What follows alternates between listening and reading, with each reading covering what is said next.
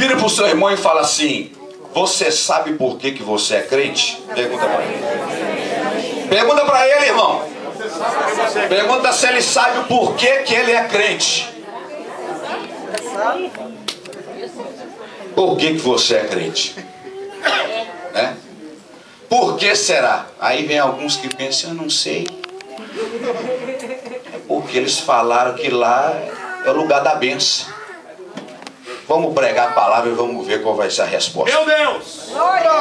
Mateus 16, do versículo 13 em diante, diz assim a palavra do Senhor Jesus. Isso. Se você puder ficar de pé em reverência à palavra do Senhor Jesus, vai ser muita bênção. Glória a Deus. Esta palavra que é santa, essa palavra que não muda. Aleluia. Aleluia. Diz assim a palavra de Deus no verso 13 do capítulo 16 de Mateus. Mateus 16, verso 13 até o 15. Glória a Deus. E chegando Jesus às partes de Cesareia de Filipe, interrogou os seus discípulos, dizendo: Quem dizem os homens ser o filho do homem? E eles disseram: Uns João Batista, outros Elias, e outros Jeremias, ou um dos profetas. Disse-lhe, disse-lhes ele: E vós, quem dizeis que eu sou? Vira para o seu irmão e fala assim: Quem é Jesus para você? Pode se assentar. Irmão, hoje em dia, momentos antes do arrebatamento da igreja, porque Jesus está voltando para buscar a igreja dele, não vai demorar. Não existe coisa melhor do que falar de Jesus. Irmão, muita teologia, muito tipo de baboseira, largura de mar vermelho com altura, não salva a alma de ninguém. Quando se fala de Jesus, toda alma fica alimentada. Porque Ele é quem te fez e é Ele quem te criou. Só Ele tem esse poder de te dar alegria que ninguém pode, e dinheiro nenhum pode. E se tem alguém aqui que ainda não converteu, se não ainda, ainda confessou Jesus como Salvador, hoje eu quero lhe dizer, hoje é o seu dia. Hoje é o dia em que você vai entender quem é Jesus. Na terra, Jeová. Jesus, ele, a Bíblia diz no capítulo 16, do verso 13 em diante, presta bem atenção.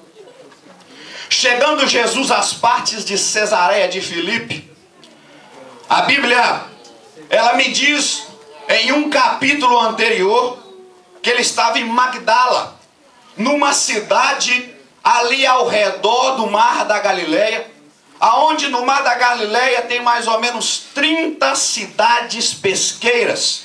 E Magdala era uma delas, perto de Betsaida. Jesus Cristo, a Bíblia está dizendo que agora no capítulo 16, ele sobe, ele vai ao norte do mar da Galileia, mais ou menos 150 quilômetros acima do mar da Galileia, na cidade de Cesareia de Filipe. E o que me chama a atenção nessa cidade é que se você for reparar o mapa e reparar o norte, é impressionante o porquê será que Jesus Cristo pega os seus discípulos e sobe 150 quilômetros. Por que será que ele tem que subir tanto? Para chegar diante dele, sabe por quê, irmão? Jesus Cristo já tinha feito milagre, Jesus Cristo já tinha ressuscitado morto, Jesus Cristo já tinha curado leproso, Jesus Cristo já tinha feito tantos sinais de maravilhas, e os discípulos estavam com ele e viu o que ele fez.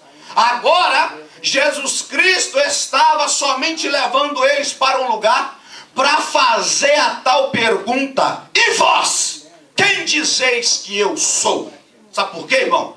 Jesus Cristo pega os discípulos e agora quer levar eles para um lugar reservado para ver se eles sabem realmente quem ele é.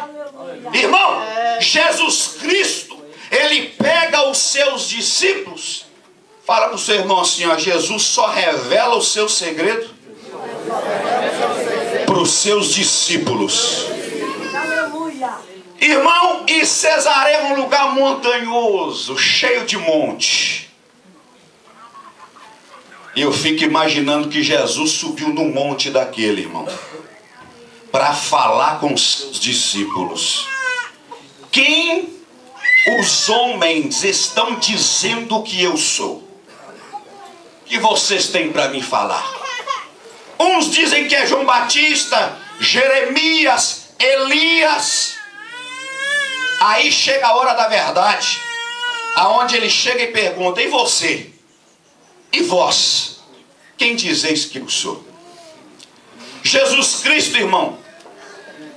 Cristo foi um ser contemporâneo, um ser controverso.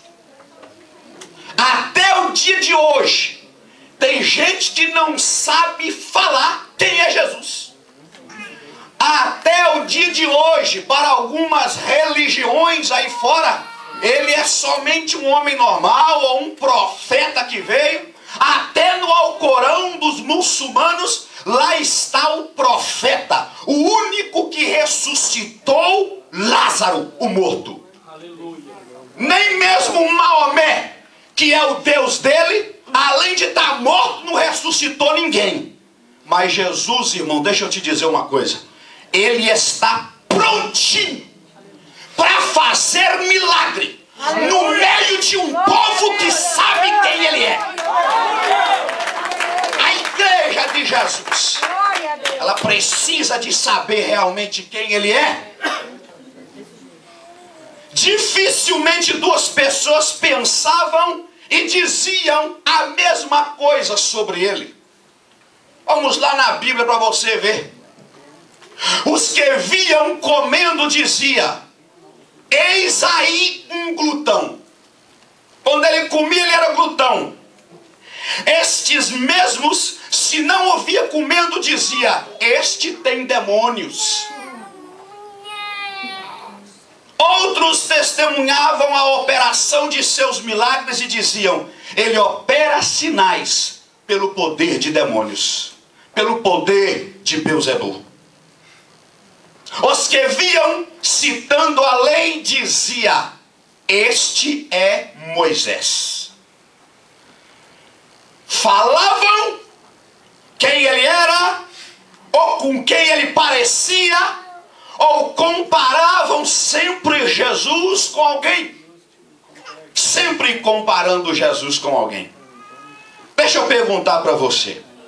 Você compara Jesus com alguma coisa? Existe comparação. Existe algum homem nessa terra que se pode comparar com Jesus? Deixa eu te fazer uma pergunta. Se você não compara Jesus com ninguém, com nada, e nós dizemos que Ele é o Santo, o Soberano, o cheio de graça, o cheio de poder, aquele que vive e reina para sempre, vira para o seu irmão e pergunta: se esse é o Jesus que você serve, pergunta para ele. Por que, que você não vive uma vida digna de ser servo de Deus?